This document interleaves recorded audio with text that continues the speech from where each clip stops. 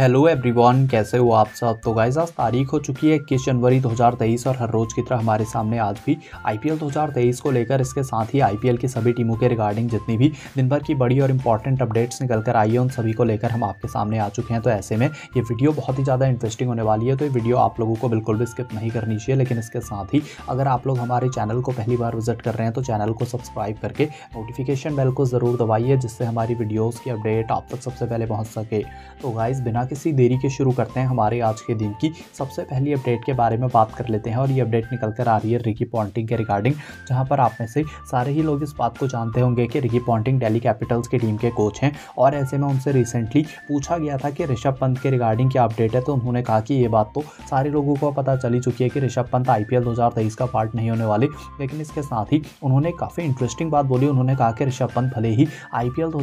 में फिजिकली उनकी टीम के साथ प्रेजेंट ना हो पा रहे हो खेलने के लिए लेकिन अगर वो ठीक हो जाते हैं, उस टाइम तक अगर उनकी सिचुएशन बेटर हो पाती है तो फिर ऋषभ पंत अगर प्रेजेंट भी रहते हैं दिल्ली कैपिटल्स की टीम के साथ, यानी कि वो खेल तो ऑब्वियसली नहीं पाएँगे, लेकिन अगर वो दिल्ली कैपिटल्स की टीम में किसी भी तरीके से इन्वॉल्व हो पाते हैं तो फिर दिल्ली कैपिटल्स की टीम के लिए बहुत ही ज़्यादा अच्छी बात रहेगी, क्योंकि उनके हिसाब से ऋषभ पंत को दिल्ली कैपिटल्स के ड्रेसिंग रूम में काफ़ी ज़्यादा रिस्पेक्ट किया जाता है, उनके ऐसा करने से डीसी की टीम में एक नया मोटिवेशन आ सकता है कि किसी भी तरीके से अगर वो डीसी की टीम को थोड़ा सा मोटिवेट कर पा रहे हैं, वहाँ पर वो प्रेजेंट हैं, या फिर नहीं है, उस बात से ज़्यादा फ़र्क नहीं पड़ता। तो ऐसे में चाहते हैं कि ऋषभ पंत अगर उस टाइम तक थोड़े बहुत ठीक हो जाते हैं तो फिर इनको डेली कैपिटल्स की टीम की थोड़ी सी हेल्प करनी चाहिए। कॉमेंट करके आप लोग बताइए आपका क्या ओपिनियन है इसके बारे में फ़िलहाल। हम आगे बढ़ते हैं और बात करते हैं हमारे आज के दिन की दूसरी बड़ी अपडेट के बारे में। और गाइज़ ये अपडेट निकल कर आ रही है विमेंस आईपीएल के बैलेंस पर्स के रिगार्डिंग जहाँ पर हमने आप लोगों को इन्फॉर्मेशन दी थी कि विमेंस आईपीएल का जो एस्टिमेटेड बैलेंस पर्स है, वो करीब करीब पंद्रह करोड़ से बीस करोड़ के बीच में हमें देखने को मिलने वाला था।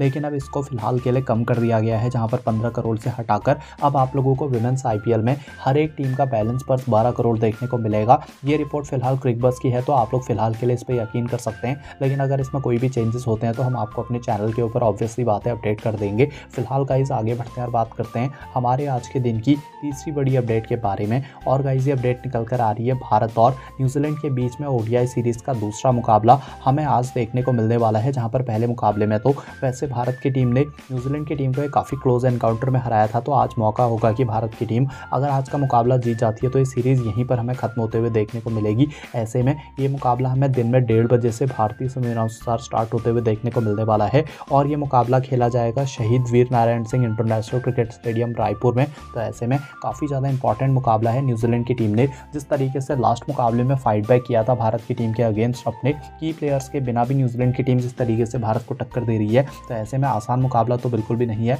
और लास्ट मुकाबले में काफ़ी ज़्यादा मज़ा भी आया था तो कमेंट करके आप लोग बताइए कि आपके हिसाब से भारत की टीम इस मुकाबले में न्यूजीलैंड को हराकर सीरीज़ को यहीं पर रैपअप कर पाएगी या फिर नहीं? फ़िलहाल गाइज़ हम आगे बढ़ते हैं और बात करते हैं हमारे आज के दिन की चौथी बड़ी अपडेट के बारे में। और गाइज़ ये अपडेट निकल कर आ रही है मिनी आईपीएल के रिगार्डिंग जहाँ पर मिनी आईपीएल आप लोग इसको बोल लो या फिर साउथ अफ्रीकन टी लीग बोल लो, इसका जो एस्टिमेटेड रिवेन्यू है वो हमारे सामने निकल कर आया है कि मिनी आईपीएल के कंप्लीट हो जाने तक मिनी आईपीएल आप लोगों को दस करोड़ रुपए से ज़्यादा का प्रॉफिट जनरेट करते हुए देखने को मिलेगा। अब हो सकता है कि आप में से काफ़ी सारे लोगों के दिमाग में क्वेश्चन चल रहा हो कि दस करोड़ तो इसके हिसाब से काफ़ी कम है, क्योंकि ऑब्वियस सी बात है आई की टीमें वहाँ पर मौजूद हैं। और उसके साथ ही अगर आप बात करें एम आई केप टाउन की टीम की तो वो 210 करोड़ रुपए में बिकी थी। जोहानसबर्ग सुपर किंग्स की टीम 150 करोड़ रुपए में बिकी थी। तो ऐसे में इतने कम जो प्रॉफिट है वो क्यों हो रहा है? तो इसका सीधा सा रीज़न ये कि इसका पहला संस्करण था। और जनरली हम देखते हैं कि कोई सी भी लीग हो, चाहे वो कितनी भी बड़ी रही हो इवन आईपीएल के साथ भी ऐसा हुआ था कि फ़र्स्ट सीज़न में बहुत ज़्यादा प्रॉफिट जनरेट नहीं कर पाए थे।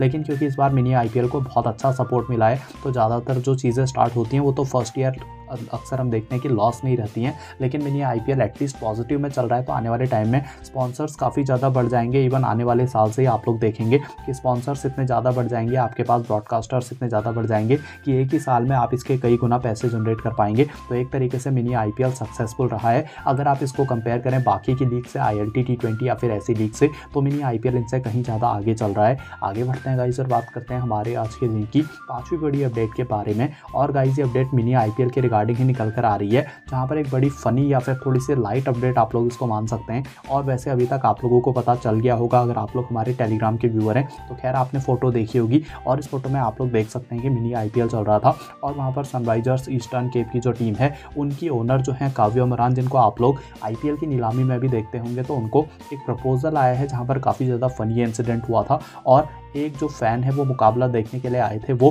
अपने साथ बेसिकली एक बोर्ड लेकर आए थे, जिसमें उन्होंने लिखा था कि वो इनसे एक तरीके से प्रपोज कर रहे थे इनको कि वो इनके साथ शादी करना चाहते हैं आने वाले टाइम में। तो खैर, इसके रिगार्डिंग तो कोई भी रिप्लाई नहीं आया, लेकिन ये जो बंदा था, ये जो फ़ैन था, ये काफ़ी ज़्यादा वायरल हो गया मैच के दौरान ही। आगे बढ़ते हैं गाइज़ और बात करते हैं हमारे आज के दिन की छठी बड़ी अपडेट के बारे में। और गाइज़ ये अपडेट निकल कर आ रही है बीसीसीआई की साइड से, जहाँ पर इस बार आई पी में हम सभी लोगों को एक तरीके से जो ओवरसीज़ नंबर ऑफ़ प्लेयर्स है वो तो चार ही देखने को मिले हैं क्योंकि इम्पैक्ट प्लेयर के रूल के हिसाब से आप लोगों विदेशी खिलाड़ी चार ही अपनी टीम में शामिल कर सकते हैं, जो इम्पैक्ट प्लेयर होगा वो भारत का ही रहने वाला है। लेकिन ऐसे में विमेंस आईपीएल के रिगार्डिंग एक इंटरेस्टिंग अपडेट है कि विमेंस आई में बीसीसीआई अलाउ कर सकता है पाँच ओवरसीज़ प्लेयर्स का होना, क्योंकि अगर आप लोग भारत के डोमेस्टिक सर्किट की बात करें मेन्स और विमेंस में तो उसमें काफ़ी ज़्यादा डिफरेंस आ जाता है विमेंस आई की अगर बात की जाए तो वहाँ पर अगर आप लोग हर एक स्क्वाड में सिर्फ़ अगर चार ही ओवरसीज़ प्लेयर्स को अलाउ करते हैं तो आपको काफ़ी सारे इंडियन प्लेयर्स की ज़रूरत पड़ेगी। तो उतनी ज़्यादा बेंच स्ट्रेंथ मौजूद ना होने के कारण पाँच ओवरसीज़ प्लेयर्स और उसके साथ ही छः भारतीय प्लेयर्स के साथ आप लोगों को विमेंस आई की प्लेइंग इलेवन फॉर्म होते हुए देखने को मिलने वाली है। आगे बढ़ते हैं गाइज़ और बात करते हैं हमारे आज के दिन की सातवीं बड़ी अपडेट के बारे में। और गाइज़ ये अपडेट निकल कर आ रही है चेन्नई सुपर किंग्स की टीम के रिगार्डिंग जहाँ पर एक तरफ़ महेंद्र सिंह धोनी के आईपीएल के आखिरी साल होने के रिगार्डिंग काफ़ी सारी न्यूज़ काफ़ी सारी अपडेट निकल कर आई है। खुद एमएसटी ने भी कहा था कि शायद ही उनका आखिरी सीज़न हो सकता है, लेकिन ऐसे में चेन्नई सुपर किंग्स की टीम ने कहा है कि अभी भी होपफुल है कि शायद एम इस साल के बाद भी कैप्टनसी को कंटिन्यू करें। सीएसके ने कहा कि जब तक एमएसटी चाहते हैं, तब तक वही चेन्नई सुपर किंग्स की टीम के कैप्टन रहेंगे, लेकिन सीएसके की टीम ने अभी सोचा ही नहीं है इस बारे में कि वो अगला कैप्टन किसे अपॉइंट करने वाले हैं। इनके अकॉर्डिंग महेंद्र सिंह धोनी जैसा कैप्टन अगर आपके पास हो तो इनको ज़्यादा सोचने की ज़रूरत नहीं पड़ती है। सारी की सारी रिस्पॉन्सिबिलिटी एम अपने कंधों पर उठा लेते हैं और इसके साथ ही वही डिसाइड करते हैं सीएसके की टीम में कि आगे का फ्यूचर क्या होने वाला है, किस तरीके से सी की टीम अपने गेम के अबाउट जाएगी। तो ऐसे में इनके अकॉर्डिंग चेन्नई सुपर किंग्स की टीम के साथ एम जितने लंबे टाइम तक रहें ट्राई करेंगे कि एम इनके साथ उतने लंबे टाइम तक बने रहें, जिससे कि चेन्नई सुपर किंग्स की टीम के आने वाले सारे के सारे डिसीजंस भी वही ले पाएँगे। फ़िलहाल गाइज़ हम आगे बढ़ते हैं और बात करते हैं हमारे आज के दिन की आठवीं और आखिरी अपडेट के बारे में। और गाइज़ ये अपडेट निकल कर आ रही है सूर्य कुमार यादव के रिगार्डिंग जहाँ पर टी ट्वेंटी फॉर्मेट में तो सूर्य कुमार दुनिया के नंबर वन बैट्समैन बन चुके हैं और जिस तरीके की फॉर्म में वो नज़र आ रहे हैं, ऐसा लग नहीं रहा कि आने वाले काफ़ी टाइम तक कोई उनको वहाँ से हटाने भी वाला है। लेकिन अगर आप लोग उनके टी ट्वेंटी परफॉर्मेंस को ओडीआई परफॉर्मेंस के साथ मैच करेंगे तो आप लोगों को पता चलेगा कि जो मिक्सिंग और फॉर्मेट है, वो काफ़ी ज़्यादा हो रही है भारत की टीम के सलेक्शन में। अगर आप टी में अच्छा करते हैं तो आपको ओडीआई में डाल दिया जाता है। अगर आप ओडीआई में अच्छा करते हैं टी में अच्छा करते हैं तो उसके हिसाब से आपको टेस्ट टीम में शामिल कर दिया जाता है। तो सूर्य कुमार यादव के लास्ट के दस ओ पारियों को अगर आप लोग देखें तो सूर्या के स्कोर कुछ इस तरीके से हैं थर्टी इसके साथ ही चार छः चौंतीस चार आठ नौ तेरह सोलह सत्ताईस। तो ये उनके स्कोर हैं, बिल्कुल भी कंसिस्टेंसी देखने को नहीं मिली। तो ऐसे में कमेंट करके आप लोग बताइए कि आपके हिसाब से आपको लगता है कि ये जो मिक्सिंग ऑफ़ फॉर्मेट हो रही है, इसके चलते इन प्लेयर्स के परफॉर्मेंस में कोई फ़र्क पड़ रहा है? तो गाइज़ ये वीडियो यहीं तक थी। अगर आपको वीडियो पसंद आई हो तो इसको लाइक करके हमारे चैनल को ज़रूर कीजिए। सब्सक्राइब